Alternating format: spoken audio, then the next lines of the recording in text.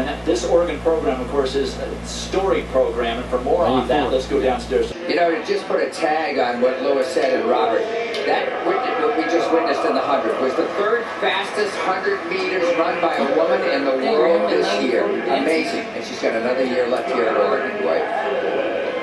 So the men's team standings coming into this 100 meters. Oh, you gotta be on Tadashi Makusho setting that collegiate record, championships.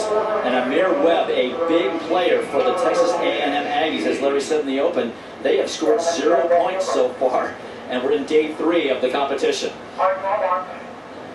Dentarius Locke, what a story. 9.97 seconds legal wind in his heat. And he's got Silmon, uh, Charles Silmon from TCU, a senior next to him, who ran 9.92 seconds with a windy condition.